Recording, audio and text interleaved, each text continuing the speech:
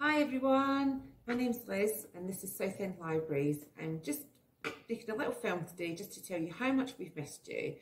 We've really missed you. I'm in the children's library today at the forum and it's so quiet with it, all the children here bustling around and choosing their books.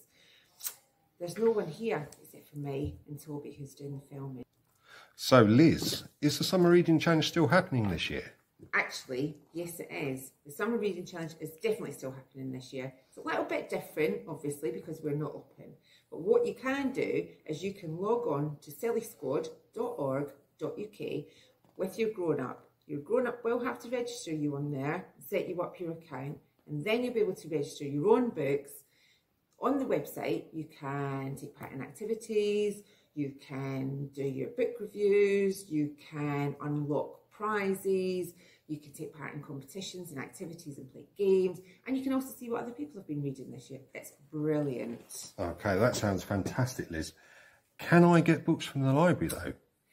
You can still get books from the library because I'm sure you've read everything you've got at home already. So what you have to do is get your grown up to go to our website, which is southend.spydus.co.uk. What you can do on there is you can choose some books and then you can arrange to come and pick them up from us. And we're doing that just for the time being until we can actually see you back in the library to come and choose your own books. We're still looking forward to you coming back in. At the moment, we don't know when that's going to be, but we really hope it's not too long. Oh, that's absolutely fantastic. Hopefully see you soon, Liz. See Bye. you. Bye. Keep reading.